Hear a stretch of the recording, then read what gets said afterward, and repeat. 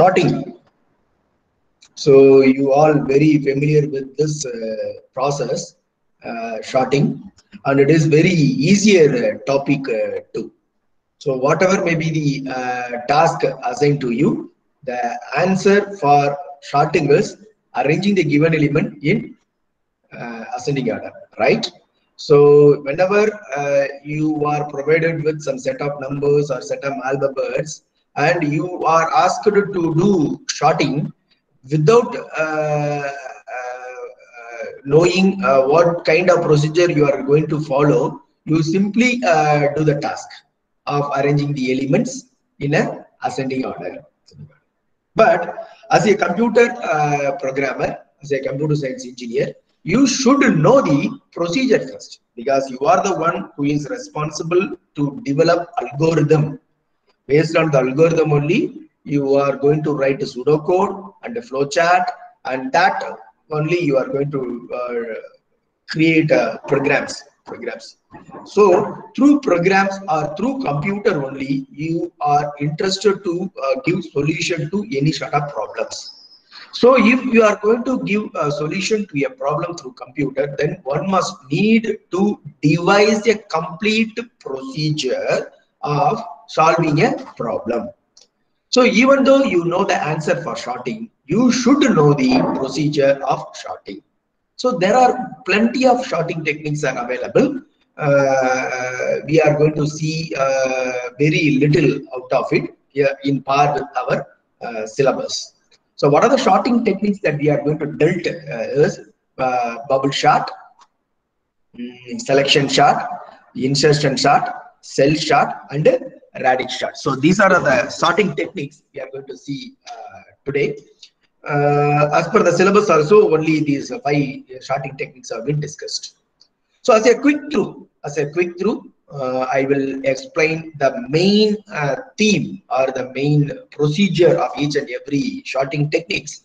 Uh, but I left you uh, to go through uh, some other web resources or some other materials in order to devise the step, like an a step that is like that of an algorithm, uh, or in order to devise a pseudocode or flowchart or even program. So these four tasks that is devising an algorithm, devising a flowchart, devising a pseudocode, as well as devising a program. So these four tasks is assigned to you as a self-study so that you have to go and refer many uh, web resources or uh, YouTube channels or materials in order to uh, completely understand the given topic.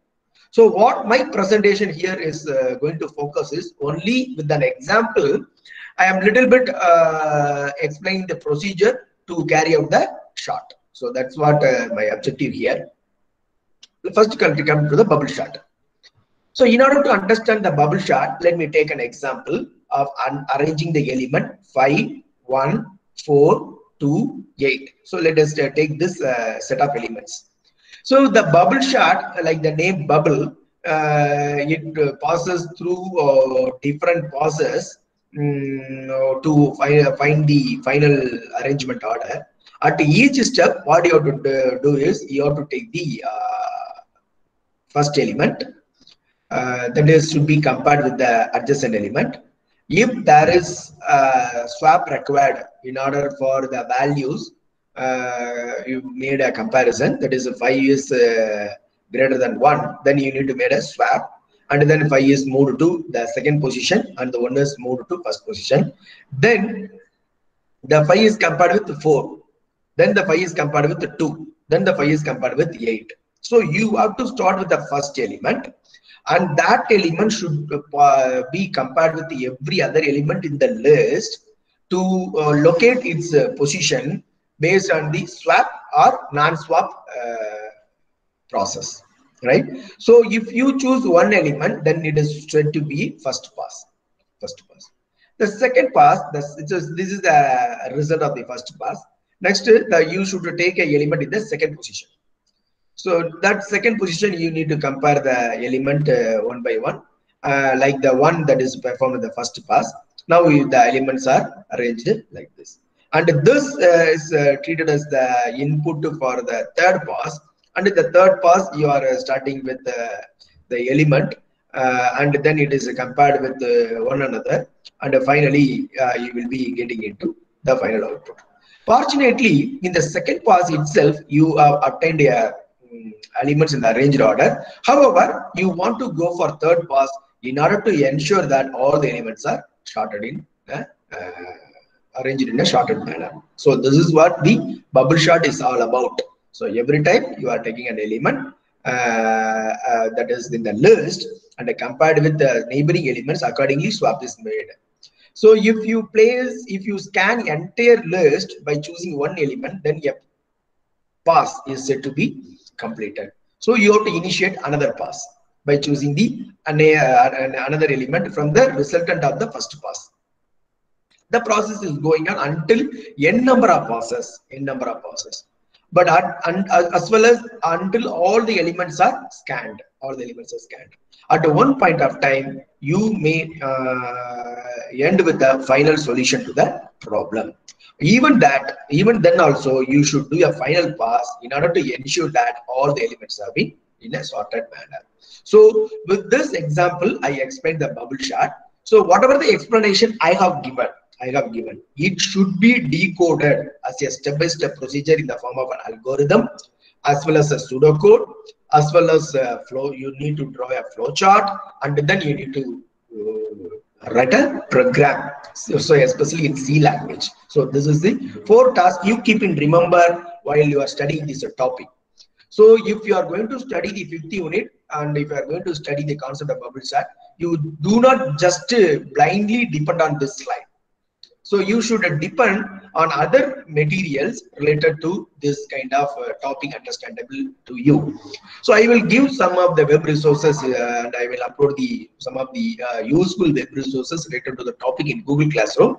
However, I expect you to have a personal interest on the topic and I expect invite you to explore further on the given topic in order to uh, understand the concept well with respect to these four ideas, right? Next algorithm is selection sort. So by the name implies the selection sort uh, will uh, do uh, the sorting by selecting the minimum element and place it in the initial position, that is the first position. Accordingly, or in order to, to carry out that, you need to maintain two array. Say for example, uh, the given element uh, 64, 25, 12, 22, 11 is a uh, element that is available array 1. Let me take that also array 1. Or you can simply uh, by through program you can simply consider the array uh, as a whole array as well as the same array can be considered as a sub array. Now, if I consider this as a whole array, then my index should start from 0 to 4. So 0th array is 64, 1, 2, 3, 4. So 0 to 4 I am taking it and I am scanning the entire uh, array and I am selecting the element which is uh, smaller. Now I am placing the smaller element into the first location and convert bringing the element uh, here to this position. So this is the output of the first pass. Now what I have to do is I have to uh, select the subset of array. I have to or, you have to maintain a sub array, sub array or you have to maintain another array. Say for example, you can keep this uh, uh, one. You may keep this as uh, A. இது வந்து ஏன்னு ஒரு அரேல வச்சுக்கலாம் and you can maintain B B array வச்சுட்டு ஒரு ஒரு எலிமெண்ட்டா இதுல தூக்கி போடலாம் you can bring it here like that also but uh, this is also very possible your programming language also supports that you can uh, because the first location now contains the almost uh, minimum elements of all the other elements now you can restrict the array size to 1 to 4 so that you can search from the first location element to fourth location element. So in doing so what is the basic minimum element you have to check? So so every time you have to call the function min or based on that or based on some logic also you can implement the procedure and accordingly you will reduce the subarray size subarray size. And once the subarray size comes to zero it means that all the elements have been visited and all the elements have been uh, verified and finally you print the whole array. If you print the whole array the whole array will be the one which is uh, having the elements in the ascending order. So this is what the basic principle of selection sort. Next comes to insertion sort. So always uh, the name uh, given for uh, insertion sort, the popular example given for the insertion sort is uh, playing uh, God, that is a card, card game. Uh, you might have studied these kind of techniques in your Python subject also, I remember. Uh, in the last unit also, you I remember, because these sorting techniques are the one which uh, hinder, which uh, triggers you to think algorithmically. Because the purpose of that subject is problem solving and python programming. So whenever a problem is given to you uh, you need to solve that problem via computer. So if you are introduced to solve the problem via computer you don't need a pen and pencil. Instead you need creative thinking in order to attack the problem. So if you have that creative thinking uh, to attack the problem, then that creative thinking can be elaborated as a procedure and that procedure or process can be decoded as a step-by-step uh, uh, thing so that uh, you can give answer or you can give solution to the problem through computer. So let me explain the insertion sort here. So insertion sort, you assume that these are all the numbers given and you assume that everyone is a card. Everyone is a card and these cards are in your hand. So what you will do if you want to arrange the card, so you will choose the card uh, maybe nearer to the card or you may choose a card from the left hand this side that is from left side to right side. Some may have come from this direction also. It is nothing wrong in it. Uh, but uh, you need to do ascending order. Uh, this smaller element should be here and then uh, the left side and a greater element should be in the right side. So it is good to proceed in this direction. So you compare the first two elements. So 3 is lesser, so I put 3 here. Next, I take the another elements. 2 is uh, lesser than this 3 and 4, I put here. 10. So 10 is not uh, lesser, so I keep it here. 12. 12 is also not less, so I keep it here. 1. 1 is lesser, so I bring it to here. Next 5, I bring it to here. 6. So likewise, whenever I took a card, so that is you are removing this card from the deck of cards and placing in the first position you are uh, taking, taking that card and checking with another two cards. Since it is found lesser and placing in the first position. You are taking this card and uh, comparing with the another three cards. Since it is greater you are keeping the position. So likewise the arrangement is uh, happening with respect to the principle of insertion sort and if you closely see that uh, principle the principle will resembles like when you are playing a cards. So when you are going to arrange the cards so the same principle you are adapting it. Hence why the popular and uh, example whenever the insertion sort is explained or insertion sort is defined, so you will be giving the name playing cards like example, right?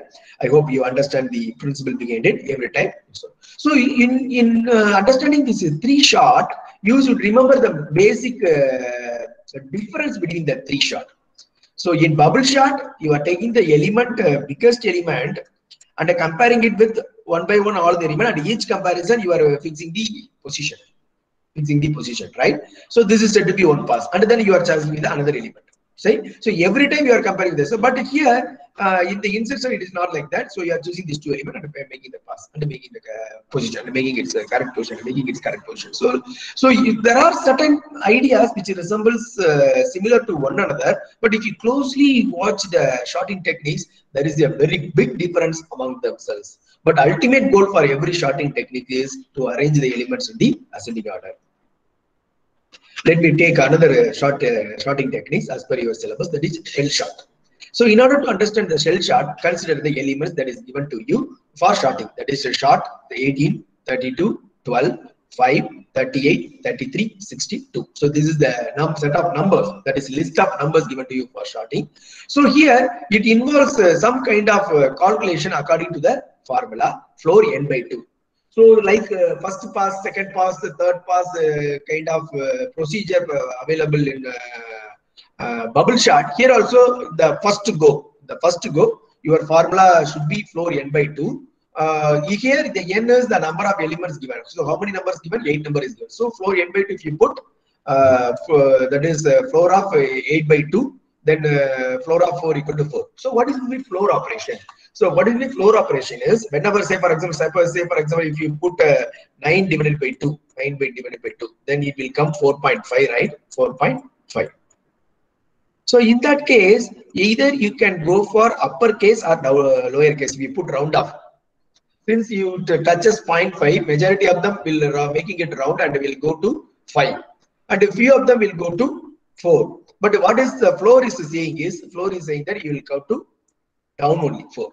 If you have ceil instead of floor function, you have ceil, then it will go to 5. If you have simply round, then also it will give 4.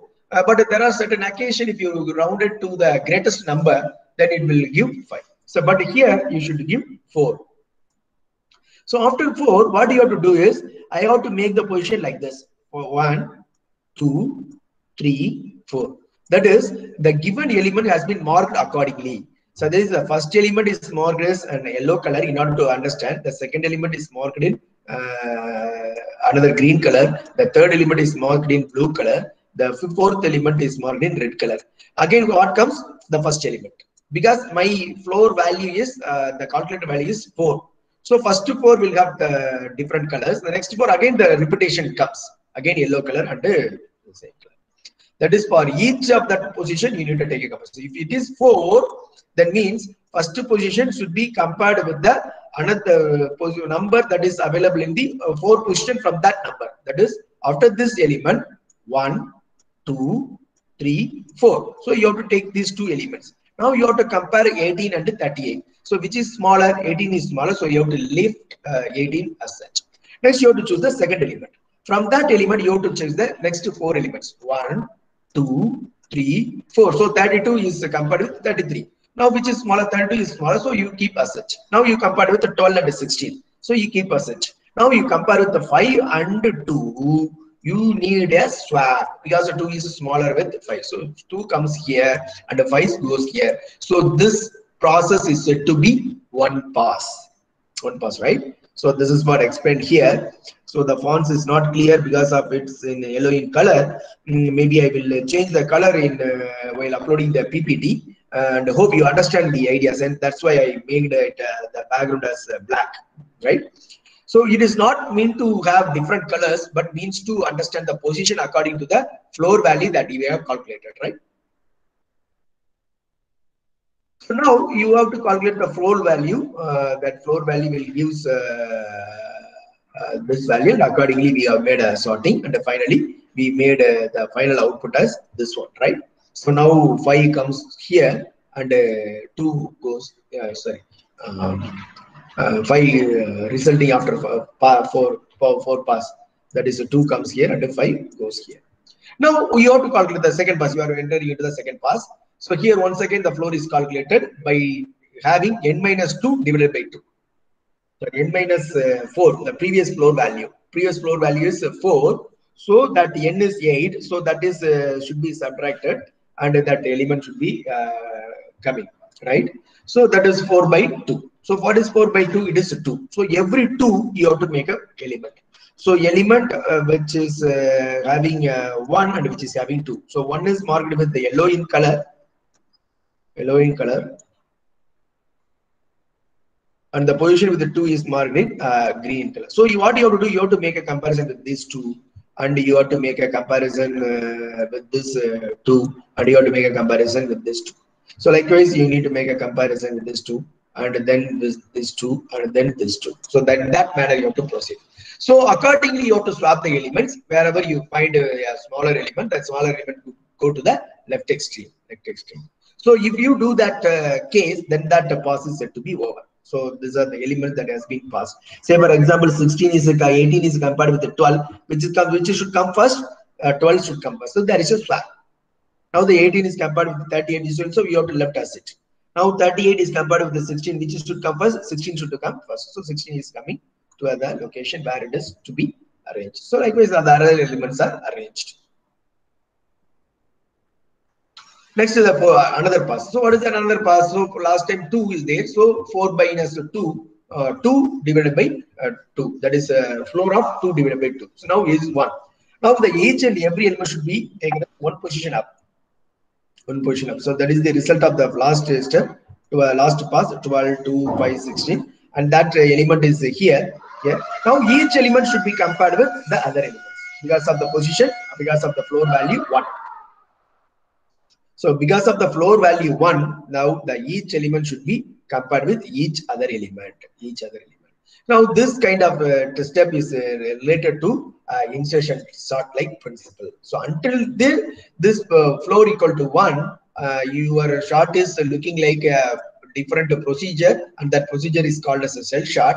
So until this part, step, after this step, what procedure you have to follow is insertion sort. So like insertion sort, you have to follow. So what is insertion sort Basically, so insertion sort, you know that. So what is that insertion sort? It is like uh, playing a uh, uh, what is that uh, game, right? So like that of games, you need to take the elements and accordingly, that is a card game. you have to there's a exact position. That is, uh, you compare these two elements. So two should cover here. Then you took uh, 16. You compare the you kept uh, like it then you have to take the fourth, fifth element. So accordingly, you place the fifth. So likewise, it goes on like in such a chart, right? So final answer you will get is uh, the arrangement of elements. This is the final answer, two, five. So according to the insertion procedure, you have to do you have to give the final answer. Next, uh, radix sort. So radix sort is a uh, very good uh, technique. Uh, actually, uh, when you are uh, talking about linked list, in your previous regulation syllabus uh, as well as your uh, master degree student syllabus, this radix sort is one of the charting technique included as an application of linked list. Linked list. But here in the syllabus, it is not a treated. So I am not uh, focusing. I, I also not focused on that. However, as the syllabus uh, suggests, the radix uh, chart techniques procedures should be explained as a one of the topic uh, whenever a set of list of items is given to you. So according to that uh, radix sort, the principle is whenever a set of number is given to you, first you focus on the last uh, bit of every number. That is pin shot on lower digit. So the one which is having the lowest uh, last bit should be arranged first. That is 341, 131. Next is Mm, 126, 416. Next, 328 and 328, right? So you are right. Next, next higher digits you have to think about. So when you are going to think about next, the elements get, get shuffled. The elements get shuffled. It is obvious the elements get shuffled because this is 4, this is a 2. So on the first digit, it comes in the second location. So when you take 2, uh, since it is higher, now we now it goes the first position when it goes to uh, the another position. Likewise, this 416 is placed here because of the presence of 1 in the second position, that is next higher digit, it comes to the first position. So likewise it goes. And another uh, step, there is a third step is you have to check the uh, last bit. That is the first uh, bit of this three bit number, three digit number. Like accordingly you start. So which should come first? The one should come first another this one should come first like that and then you start with the three and then you so likewise you keep on uh, doing the idea.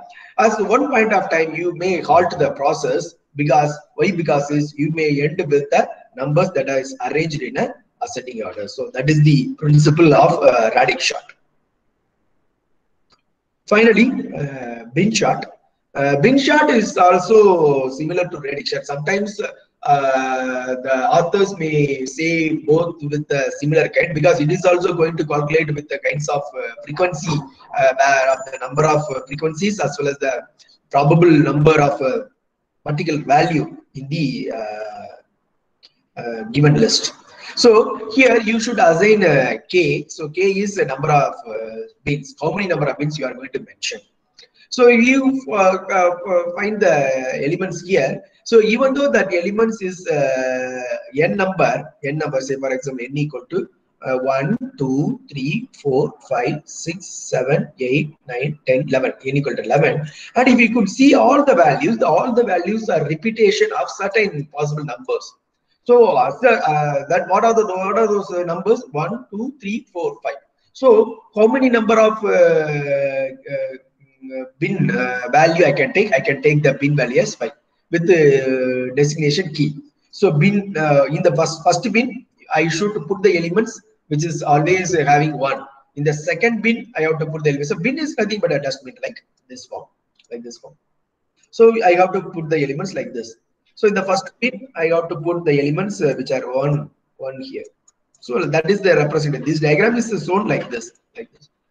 So accordingly, you put the element, and then if you start the bin, then if you start the bin, finally you will get the elements in the sorted order. So this is what uh, idea of bin sort uh, to arrange the elements in the ascending order. So with this, uh, I think uh, I close the today's uh, topic. Uh, and uh, what I am insisting you is again and again. So we have seen file sorting techniques as far as uh, the syllabus is concerned. So I have explained this uh, file sorting technique only with the help of an example, but it is not sufficient. It is not enough. So as a strategy of uh, having uh, some uh, external uh, resources you should explore for understanding a topic.